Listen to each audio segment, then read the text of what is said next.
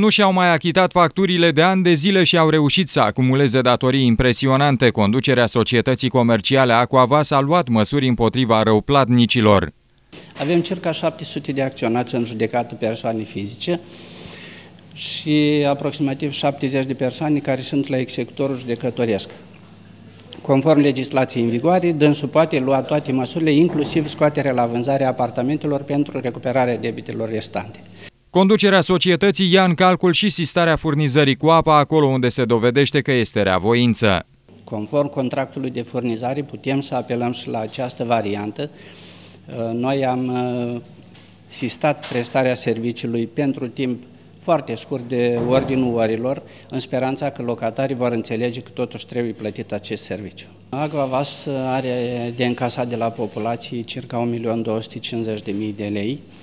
Uh, noi am luat toate măsurile pentru recuperarea acestor debite, în primul rând mergând din ușă în ușă, discutând cu fiecare locatar.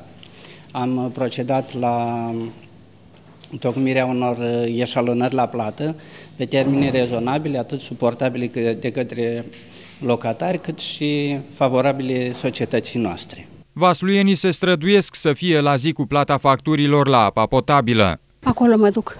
Acolo vă duceți? Uh, nu știu, noi suntem foarte, amândoi pensionari, suntem foarte corecți. Întâi datorii, vedeți, înainte de pensie, așa le programăm, dar în general e greu, cu medicamente, cu... Sunt foarte mulți care acumulează datorii nu, nu, am, am, am, am, am cunoștințe, am, dar noi n-am rămas niciodată. Nu știu dacă ar fi toată lumea așa, dar depinde și de uh, pensia care o au, în general. Dar sunt și care nu au pensii, fac petreceri, fac și datori și M-ați înțeles? Uh, nu este ușor, dar ne străduim să le achităm așa cum este. Am auzit care își fac rate și ca să poată să plătească. Dar uh, noi, ca familie și vecinii noștri, ne străduim să fim corecți. Pentru a recupera toate restanțele, reprezentanții Aquava sunt decis să apeleze la toate măsurile legale, dar sunt de acord și cu plata în mod eșalonat.